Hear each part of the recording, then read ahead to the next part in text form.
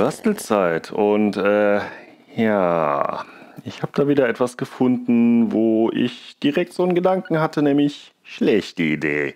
Und schlechte Ideen sind gute Ideen oder so. Also gucken wir mal, was ich gefunden habe. Und ob es wirklich eine schlechte Idee ist oder ob mein Gefühl trügt. Vor einiger Zeit, da hatte ich etwas gezeigt, nämlich sowas hier. Äh, das hier genau zu sein. Das ist ein Wi-Fi MCB, also ein WLAN-basierter, äh, eine WLAN-basierte Sicherung. Im Endeffekt ist es tatsächlich genau das gewesen. Wir haben eine ganz normale Sicherung hier an der Seite. Und daneben haben wir hier dieses Wi-Fi-Ding. Das ist ein entsprechendes WLAN-Modul mit einem Motor drin. Der kann tatsächlich hier das Ding hoch und runter machen. War gar nicht so schlimm, wie es erst aussah. Dadurch, dass das hier an der Seite tatsächlich eine richtige Sicherung ist, Freiauslösung hat und so Späße, ist das äh, zumindest nicht direkt auf dem Niveau von brennt das Haus ab. Können wir aber natürlich jetzt machen, denn ich habe was Neues gefunden, was möglicherweise dieser Idee, das Haus abzubrennen, irgendwie äh, ja deutlich besser für geeignet wäre. Das Ding hier. Ja, das hier, das ist offensichtlich Rail Switch. Klingt nach Schalter. Im Internet wird das Ganze aber tatsächlich auch als MCB, also Miniature Circuit Breaker oder ganz normale Sicherung beworben. Hat aber ein paar Dinge, die ähm, hm, seltsam sind. Na gut, gucken wir erstmal auf die Packung und dann auf äh, das, was wir online bekommen. Wir sehen hier schon, äh, DIN-kompatibel wie eine normale Sicherung. Diesmal nur eine Teileinheit, nicht zwei. Ich glaube, es waren zwei bei der anderen. Das ist schon mal deutlich kompakter. Wir haben Remote Control, das hatte die andere ja auch, aber hier gibt es Real-Time Metering. Das heißt also, wir haben auch hier eine Strommessung integriert, was der Wi-Fi-Ding, was wir da hatten, nicht hatte. Countdown-Mode, äh, okay, wenn ich per Countdown mir den Strom wegschalten möchte, keine Ahnung. Timing-Mode klingt noch seltsamer. Und Loop-Timing, äh, PWM mit Sicherungsautomaten klingt nach einer schlechten Idee. Ja, Guter Start, oder? Naja, gucken wir auf die Rückseite. Da steht nämlich noch mehr. Ich halte jetzt mal absichtlich hier ein paar Sachen zu, denn da kommen wir gleich zu. Äh, prinzipiell nochmal die ganzen Angaben, aber wir haben hier ein Typenschild. Das Ganze ist von der Firma Tongu. Tongu. Hat angeblich CE, FCC, ROS und so weiter. Und das Modell hier TOQSY2JZT. So, wieso halte ich zu? Naja, das erste, das ist hier äh, ja, die Spannung. Ist jetzt nichts Ungewöhnliches, 90 bis 240 Volt.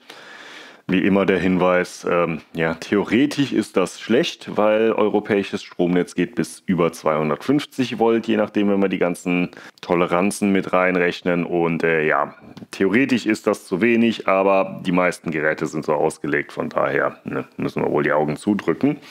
Was aber interessanter ist, ist die Zeile drüber. Rated Current Operation, minus 63 Ampere. Das Ding hier soll 63 Ampere abkönnen.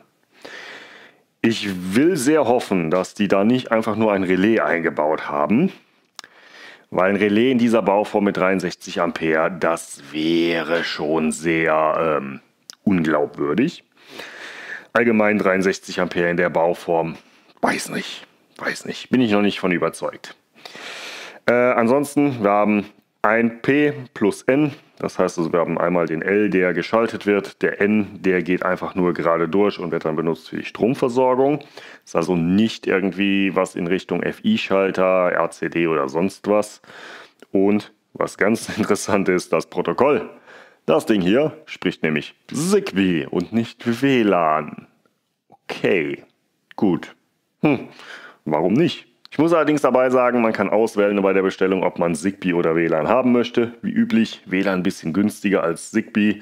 Äh, ich glaube, hierfür müsste ich so um die 15 Euro bezahlt haben. Es ist also auf jeden Fall nichts, was sonderlich teuer ist. Und vor allen Dingen, hey, DIN-Mount mit Metering klingt jetzt von Funktionen her interessant. Aber wie gesagt, da sind so ein paar Sachen, wo, äh, ja, wo ich da doch so ein paar Zweifel habe, wie gut das wirklich ist.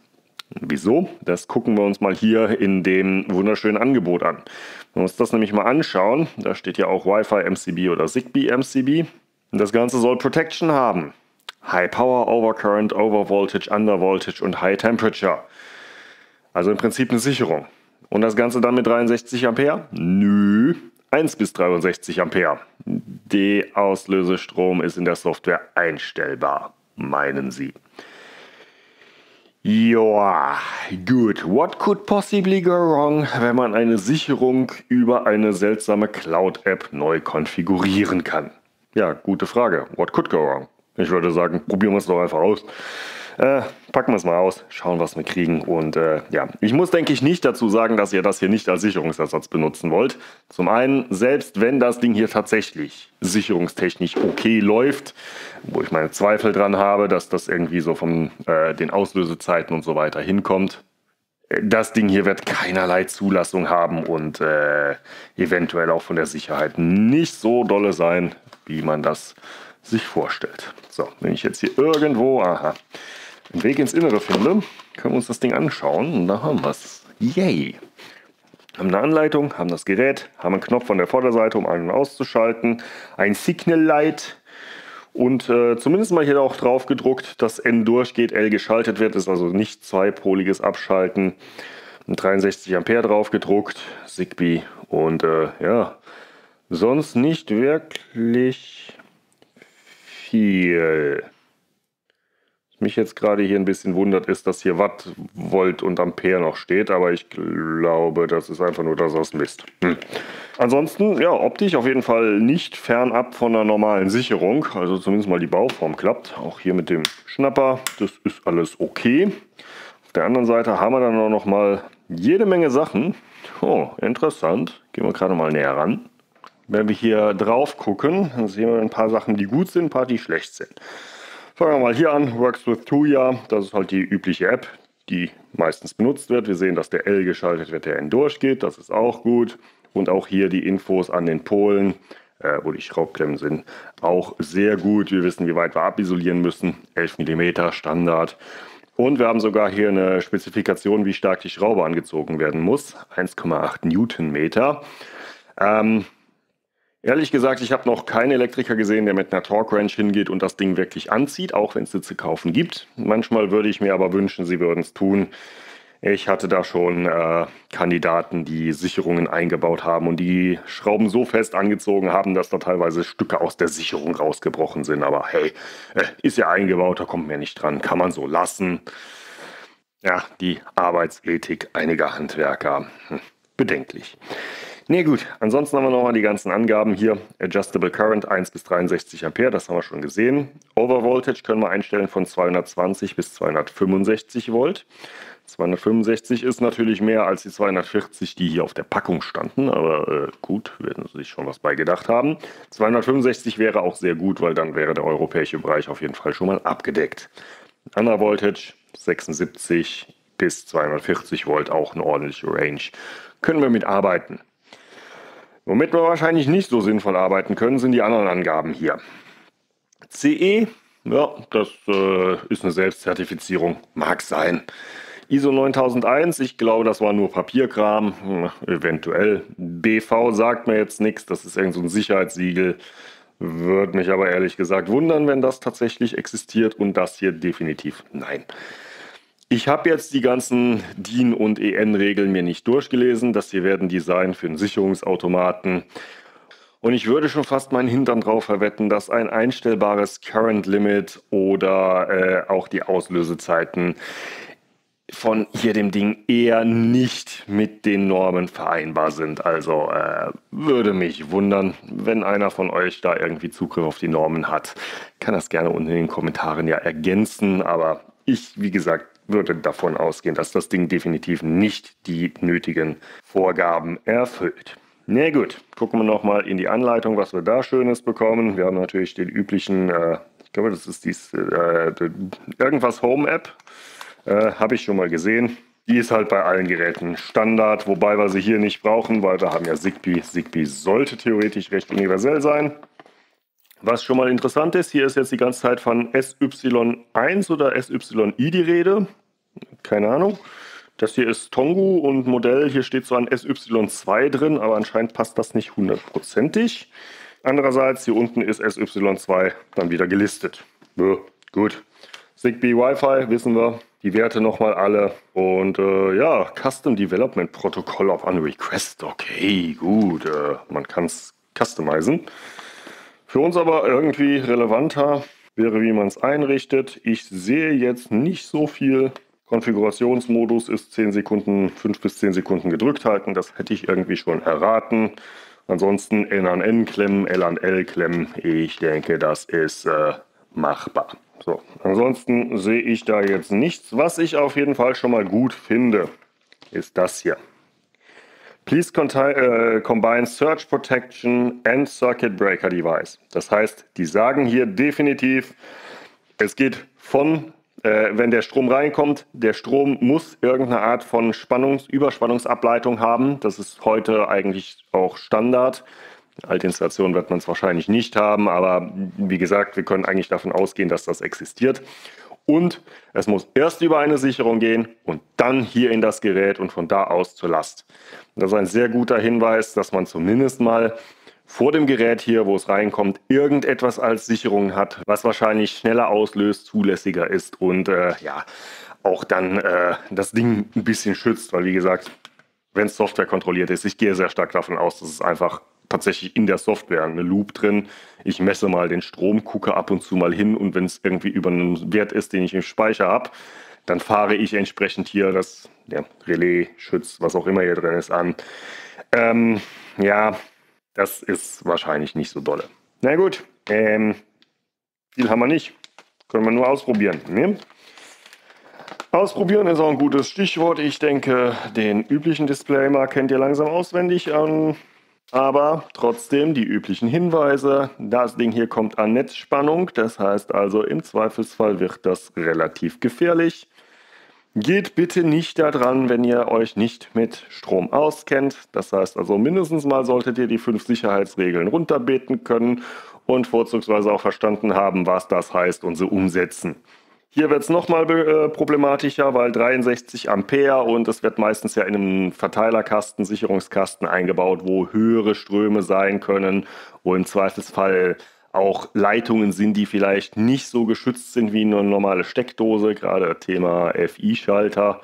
Das hat man im Zweifelsfall halt nicht, je nachdem, wo man in so einem Kasten dran packt. Also ich würde ja sagen, lasst es am besten von einem Fachmann einbauen, aber ich habe die Befürchtung, äh, wenn jemand Elektriker gelernt hat und dieses Ding hier sieht, dann läuft er höchstens schreiend weg. Aber na gut. Ähm, ich werde mich mal wieder zu meinem Platz begeben für Testaufbauten. Dann gehen wir mal Saft drauf und gucken, ob wir das Ding im Zigbee sehen. Mit etwas Glück wird es direkt von Zigbee to MQTT unterstützt. Das wäre natürlich ideal für mich. Dann äh, ja, kann ich es direkt ansteuern. Dann schauen wir mal, was das Ding so für Werte rausrückt und ob die irgendwie einen Sinn ergeben. Mal gucken, vielleicht machen wir noch ein paar Messungen, wie gut da die Sicherungen tatsächlich reagieren und äh, auseinanderbauen wäre natürlich gut, aber das Ding ist halt genietet, von daher äh, muss man mal gucken, ob wir das irgendwie sinnvoll auseinanderbekommen. Na gut, gehen wir mal basteln. Also machen wir mal einen Testaufbau. Dafür habe ich hier zwei Drähte mit Netzspannung. Da müssen wir natürlich beim Anklemmen darauf achten, dass die spannungsfrei sind. Also den zweipoligen Spannungsprüfer einmal dran halten. Spaß beiseite. Das Ding ist hier definitiv offen und den Stecker habe ich auch in der Hand. Ansonsten bitte nicht sowas machen, sondern was Vernünftiges nutzen. Wo man hier aufpassen muss, bei dem Ding hier ist beschriftet oben Power, unten Last. Das heißt also, wir müssen oben reingehen, da kommen wir von unserer Sicherung an und hier unten geht es dann raus zu den Steckdosen oder was auch immer man dahinter hängen möchte.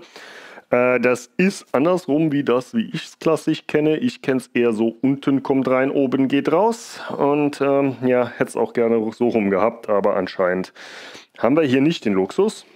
Ansonsten links N, rechts L. Ich bin mir jetzt nicht 100% sicher. Aber ich meine, das war bei zumindest so den FILS, die ich so kenne, auch andersrum. Ich müsste nochmal nachgucken. Aber ja, ehrlich gesagt, es ist am Ende auch egal, solange es beschriftet ist. Wo man das wiederfindet, passt das schon. So, jetzt die Kabel dran haben, sollten wir den theoretisch ja schon finden können. Das ist ja Zigbee, also. Hm? So, den Torque lassen wir jetzt mal auf Hand fest. Dann würde ich sagen, nehmen wir uns das Ding mal vor, gucken, was passiert. Hauptstrom ein. Und wenn ich jetzt hier runter mache, müsste der hier Strom bekommen und ich gehe davon aus, dass der dann auch ein bisschen anfängt zu blinken und eventuell sogar schon mm, mm, eventuell sogar schon anfängt hier eine Verbindung aufzubauen. Dann gehen wir doch direkt hier mal auf Permit Join. Okay. Und Strom an. Hm. Keine Explosion, aber auch keine Anzeige. Drücken wir mal. Okay, schaltet geht an. Klingt auch so, als ob da ein bisschen was dahinter ist. Das klingt schon eher Richtung Schütz als Relais. Dann halten wir mal gedrückt.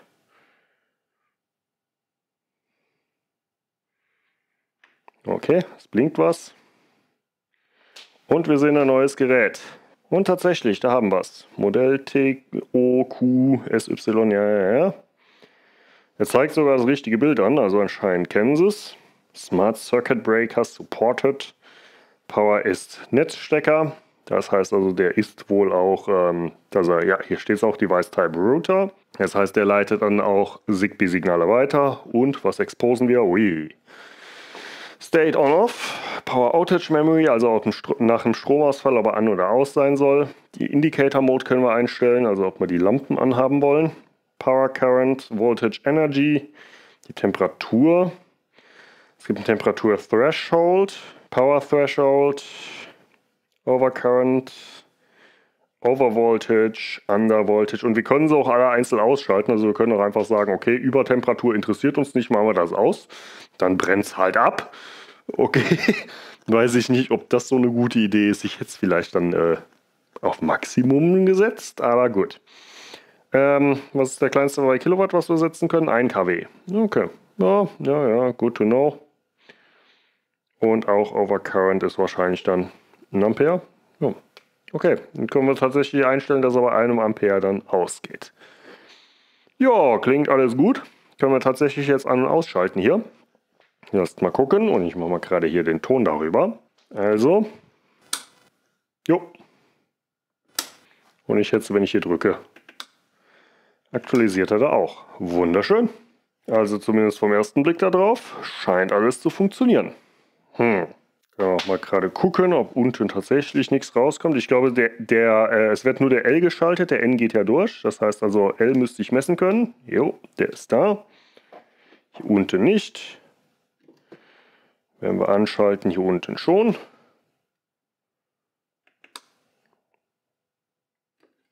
Jo. Funktioniert alles. Also er schaltet auch sauber, das sieht alles ganz gut aus.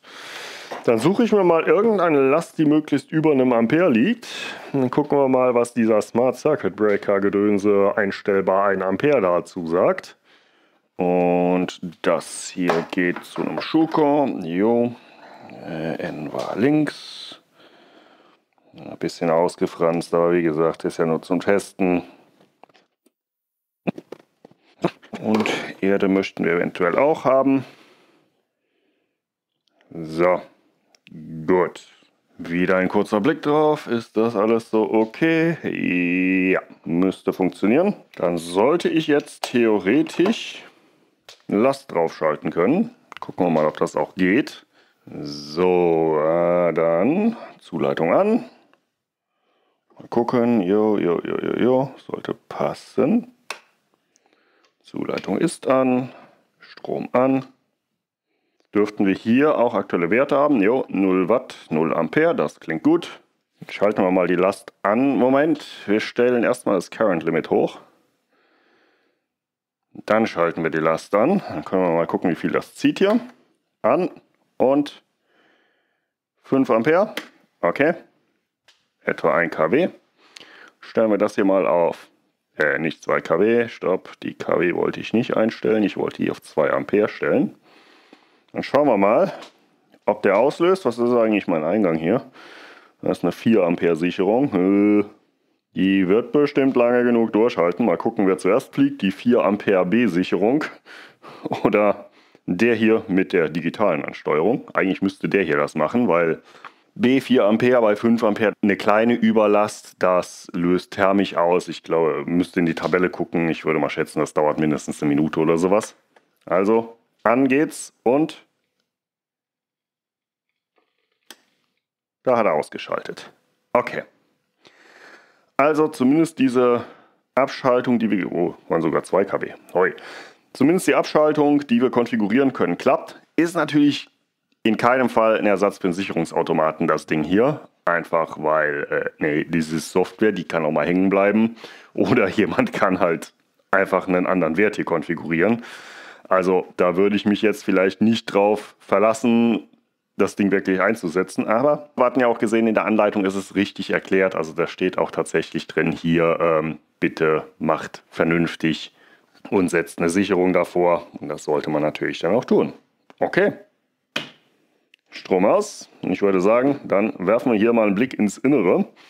Ist natürlich jetzt sehr, sehr schade, weil es sieht tatsächlich gar nicht so schlecht aus. Und äh, ne, ich habe die Befürchtung, dass das äh, Zerlegen hier am Ende tatsächlich äh, möglicherweise nicht reversibel ist. Einfach weil das Ding genietet ist. Von der Seite gleich drauf gucken, da sehen wir das sehr schön. Ja, genau, hier sehen wir diese wunderschönen Nieten. Aber hey, äh, was tut man nicht alles, um zu wissen, was man denn hier vor die Nase bekommt. Ich gehe mal davon aus, ein großer Teil hier wird tatsächlich hier unten eine Art Schütz sein, ein richtiges. Das heißt also, hier unten werden die, äh, Moment, wo ist L? L ist auf jeder Seite, das heißt hier auf der Seite wird hier Metall reinkommen, hier Metall reinkommen und in der Mitte wird dann mit einer Feder entsprechend eine Brücke drauf sein, die magnetisch irgendwie runtergedrückt wird oder runtergezogen wird. Und dann hier oben in dem Bereich wahrscheinlich eine entsprechende Ansteuerung. Wird wahrscheinlich ein bisschen größer sogar sein. Vielleicht, dass er den N-Bereich noch ein bisschen ausfüllt. Einfach weil wir so viel brauchen. Wir brauchen ja ein komplettes Netzteil von den, ist es 230 Volt? Äh, ja, bis 265 Max. Also ein Standard-Netzteil runter auf 3,3 Volt. Wir brauchen den Zigbee-Chip hier irgendwo drin und äh, ja, ein paar LEDs hier oben. Den Taster müssen wir auch noch unterbringen. Und äh, ja, stimmt, Metering hat das Ding auch noch. Das heißt, wir müssen tatsächlich auch eigentlich noch hm, mindestens mal äh, wahrscheinlich einen Dedicated Chip haben, der die Messung durchführt. Und dazu einen Eingang für die Strommessung. Das heißt also viele große SMD-Widerstände, die die Spannung auch aushalten. Und äh, ja, Shunt ist die Frage, ob sie einen Dedicated Shunt haben, also einen Messwiderstand für den Strom oder ob sie hingehen und das irgendwie ähm, per Hall-Effekt messen oder den äh, Schaltkontakt selber als Schand benutzen. Ja, wir werden es sehen. Ich gehe mal eine Runde bohren, weil ich habe die Befürchtung, sonst geht das hier nicht auf. Hm. Okay, dann testen wir mal, was wir so haben.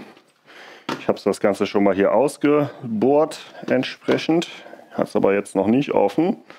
Also, setzen wir mal an bisschen geht es hier schon auseinander, aber auch nur ein bisschen. Es ist mir zumindest noch keine Feder entgegengekommen. Mal gucken, ob das noch passiert. Na komm. Okay. Hier in der Ecke hängt es noch ein bisschen. Ich sehe schon mal einen Elko und tada. Oh. Okay. Was zum? Das ist anders, als ich mir das vorgestellt habe. Okay, was ist denn hier was? Das hier ist der N-Kontakt. Der geht einfach nur komplett eins zu eins durch mit einem kleinen Drähtchen zur Elektronik hier oben. Und die kommt auch am Stück raus. Gut. Äh, was mich jetzt ein bisschen wundert, das ist der schwarze Kasten. Das ist wohl unser Schaltding. Und was da schon mal nicht passt, Coil 5 Volt, okay, fein, aber Schaltleistung 250 Volt AC bei 60 Ampere. Gucken wir nochmal auf die Specs hier. Ja, äh, 240 Volt, okay, 265, ja, das wäre Overvoltage, könnte ich mir auch noch äh, als akzeptabel, aber 63 Ampere, 60 Ampere. Äh, äh, das äh, passt nicht. Ich hätte es auch ehrlich gesagt äh, schon sehr vermutet, dass es so ist. Aber gut, ähm, das haben wir jetzt hier. Ansonsten haben wir hier nochmal zwei Kabel, die abgehen. Ah. Okay. Also wir haben einmal hier das Kabel, das geht auf denselben Stecker, das wird unsere Stromversorgung sein, mit hier diesem Bereich. Dann haben wir hier nochmal zwei Kabel, einmal rot, einmal blau, die auf denselben Stecker gehen. Und ich schätze, die benutzen hier unten dieses kleine Stück Metall tatsächlich dann als Schandwiderstand, um die Strommessung zu machen. Äh, interessanterweise auch an der Zuleitungsseite. Ja, an der Zuleitungsseite. Und last but not least haben wir zwei Kabel, die hier drauf gehen. Das wird die Coil sein, um hier zu schalten. Und hier geht entsprechend das dicke Ding hier rein und auf der anderen Seite wieder raus. Das ist dann unser Relais oder was auch immer das darstellen soll. Aber ich sehe hier, das ist geklippt, das können wir uns gleich auch noch vornehmen. Da alles gesteckt ist, können wir aber hier auch zum Glück recht einfach dran. So, blau oben. Check. Na komm. Aber wir, wir, können ja alles sehen. So, ich mache mal ein paar Fotos, dann gucken wir uns das am PC an. Dann schauen wir mal, was wir hier erkennen können. So, schauen wir uns das Ding mal an. Erste Sache, die wir hier sehen, ist das Funkmodul. Und hier sehen wir schon eine Beschriftung ZSU äh, auf dem Chip und auch außen. Das Ganze so eine Briefmarke, die drauf gemacht ist. Das ist offensichtlich ein fertiges Modul. Und wenig überraschend, das Ganze ist ein Tuya-Board. Äh, das Ganze für Zigbee, auch nicht wirklich überraschend. 32-Bit ARM Cortex mit 80 MHz, also leistungstechnisch in etwa vergleichbar mit so einem ESP8266. Interessant dabei, Operating Range 2 Volt bis 3,8 Volt. Wir hatten ja gesehen, das Relais läuft mit 5 Volt, also gibt es anscheinend wirklich zwei Spannungsebenen auf dem Ding. Und wenn wir unten gucken, da haben wir auch noch das Pin-Out. Ich verlinke euch das Datenblatt unten. Wie wir sehen können, es ist auch nicht alles verlötet. Wir haben ein paar, die ähm, sehr ausgiebig Lötzinn gesehen haben, ein paar, die so ein bisschen Lötzinn gesehen haben. Aber boah, allgemein, hier unten das, was wir sehen, das ist eigentlich ausreichend, um eine Lötverbindung herzustellen. Die haben ja auch auf der Unterseite auch Pads. Das Modul selber, wie wir sehen können, kein externer Antennenverbinder. Das heißt hier oben, das ist unsere 2,4 GHz Onboard-Antenne, die hier genutzt wird und uh, die sollte für Zigbee eigentlich auch ausreichen. Der Rest vom Board, ja, auf der Oberseite erstmal nicht ganz so viel. Wir haben die drei äh, Steckverbinder für entsprechend Stromeingang, für die, das müsste die Strommessung gewesen sein und ich meine, hier war dann das Relais dran. Ansonsten auf der Oberseite schön zu sehen, hier hinten dieses Dreigestirn. Wir haben einen großen Kondensator mit 400 Volt, wir haben einen kleinen Kondensator mit 16 Volt und wir haben hier eine Spule. Das äh, deutet schon sehr stark darauf hin, dass das Ganze ein Schaltnetzteil ist. Einfach Eingang wird irgendwo unten gleichgerichtet. Hier sammeln wir die gleichgerichtete Spannung, schieben das dann über die Spule und am Ende kommt dann eine kleinere Spannung raus. Mit dabei der hier, ich gehe davon aus, dass das Fusible Resistor ist, also eigentlich ein Widerstand, aber er ist so gebaut, dass er bei Überlastung durchbrennt und quasi auch als Sicherung fungieren kann. Und äh, ja, hier unten noch ein kleiner Filter. Heißt aber auch, äh, wir werden auf der Unterseite noch ein bisschen was haben, also drehen wir mal rum. Ja, auf der Unterseite haben wir dann schon äh, ja, die große Versammlung der ICs, was relativ gut zu erkennen ist. Hier, dieser Bereich, der wird für die Stromversorgung zuständig sein. Und viele Dioden hier unten und ein Chip, der auch eher nach Vielspannung aussieht, mit hier diesen verbundenen Pins. Aber hier oben noch zwei relativ große Widerstände, die scheinen auch hier hinten rüber zu gehen. Das dürfte dann wohl unsere Spannungsmessung sein, die dann hier in den ADC reinläuft. Ich meine, hier die Bauform müsste jeweils 250 Volt packen, also das sollte dann auch passen. Hier hinten in dem Bereich wahrscheinlich nochmal einen Schaltregler, einfach weil wir nochmal eine Spule haben. Wir haben hier nochmal einen Chip, der in Richtung Spannungsregler gehen könnte. Und letztendlich noch, ja, noch ein Ding, hier und was auch immer das hier ist. Da habe ich ehrlich gesagt keine Ahnung. Ich kann mir nur vorstellen, dass eins davon noch die Stromspannungsmessung macht und der Rest keine Ahnung. das wird sich auch nicht bessern, denn man kann es ja hier schon erkennen. Die Dinger sind halt hier komplett abgelasert worden. Das heißt, alles, was an Beschriftung mal drauf war, ist weg. Und hier tatsächlich bei manchen Chips noch so einen ganz kleinen Überrest, aber hey, selbst die Dioden hat man gelasert, weil ja, hm, okay. Und der Bereich, wo was erkennbar ist, das ist halt auch nur hier der Chip, wo relativ klar ist, dass das ein Schaltregler ist. Und hier unten der, der auch, äh, naja, er geht halt an die Schwule ran, ne? ist auch ein Schaltregler. Ansonsten ja, nochmal übereinander legen. Ich habe jetzt mal die Oberseite gespiegelt. Kann man auch schön sehen, wie das alles aufeinander passt. Wir haben wirklich hier in diesem Bereich, wo die Stromversorgung erwartet wird, auch oben dann den Eingang, die Sicherung, die ganzen Sachen, die Zubehör sind wahrscheinlich. Ein Board haben wir noch und zwar hier oben, da sitzt ja noch so ein Board äh, quer, was anscheinend dann für den I.O. zuständig ist. Zwei große Pins, die verbunden sind, nochmal ein paar kleine Pins, die verbunden sind, die wir hier haben. Und ja, da ist nicht viel drauf. Und da tatsächlich nur drei LEDs, ein Schalter und dann entsprechend hier die Vorwiderstände für die LEDs und ein bisschen Pufferzeugs. Das war's. Was mir allerdings hier noch aufgefallen ist, was tatsächlich äh, eher positiv ist, ist das hier, das Logo. Das ist ja dieses AT, OT. Ich habe keine Ahnung, wofür das erste stehen soll, aber das haben wir schon mal gesehen. Und zwar auf diesem Relais. Das heißt also, dieses Relais oder die Schalteinheit, wie auch immer man hier das Ding nennen möchte, ist anscheinend tatsächlich vom selben Hersteller wie auch die Ansteuerelektronik. Und das ist so ein bisschen gute Sache, denn das heißt, okay, das ist speziell hierfür entwickelt. Und das ist dann auch eine Erklärung, warum wir hier nicht wirklich was draufstehen haben, außer ja, das Ding ist 5 Volt und 250 Volt, aber keine Prüfsiegel und nichts. Aber wenn es halt ohnehin speziell für hier das Gerät gebaut wird, dann wären im Prinzip die Prüfsiegel, die außen auf dem Gerät sind, auch dann äh, durchaus für die Sachen, die verbaut sind, gültig. Und wenn man es halt ohnehin nur in geprüften Produkten einbaut, dann muss man nicht nochmal den kompletten Zertifizierungsprozess für so ein Relais machen. Das Einzige, was ich hier in dem Ding dann einkreiden würde, das wäre hier bei der Strommessung und der Stromversorgung. Die Drähte sind halt ein bisschen dünn. Nur sind wir realistisch, das Schlechteste, was passieren kann, ist, dass irgendwo durch durchschrammen, äh, wo ich jetzt nicht wüsste, wieso, weil man hat ja eigentlich keine Bewegung in hier so einem fest verbauten Teil. Und selbst dann, naja, der Fehler bleibt im Gehäuse, war mir von außen nichts, was irgendwie was Metall ist, was man berühren kann. Das heißt, der Fehler bleibt zum einen im Gerät und zum zweiten, naja, wir haben eine Sicherung davor. Die schaltet dann ja auch hoffentlich zeitnah ab. Okay? Dann nehmen wir uns noch den hier vor. Mal gucken, ob wir die Clips so weit aufbekommen, dass wir da ins Innere gucken können. Mal schauen, was deren 60 Ampere heißen. Ich meine, es klang jetzt nicht schlecht akustisch. Wow. Anschlüsse hängen, glaube ich, im Deckel.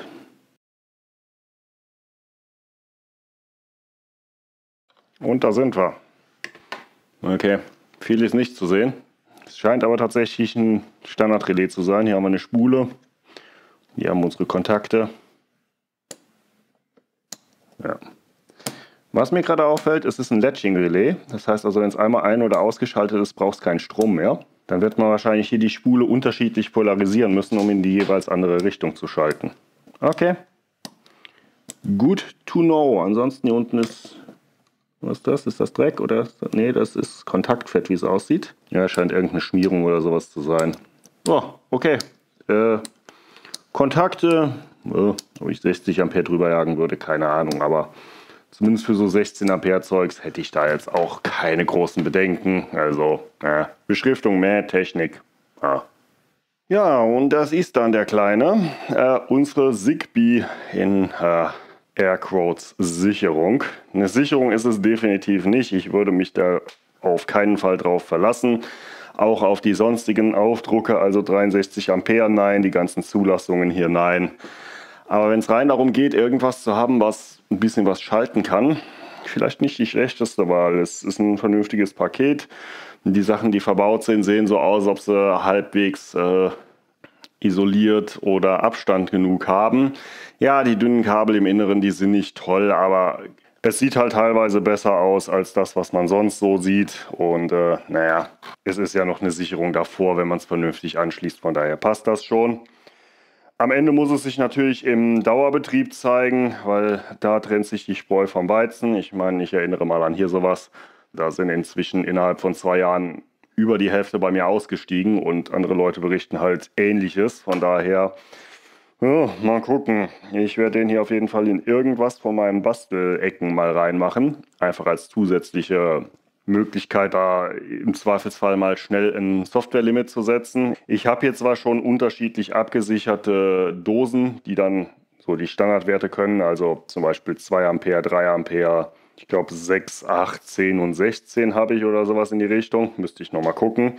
Aber hier kann man dann im Zweifelsfall ja nochmal ein genaueres Limit setzen und vor allen Dingen, der hier löst halt nach einer gewissen Zeit aus, wenn er es per Software erkennt, während die anderen halt erstmal warm werden müssen, was dann doch schon mal ein bisschen länger dauern kann. Von daher, äh, ein zusätzliches Ding, was abschalten kann, ist da nicht verkehrt.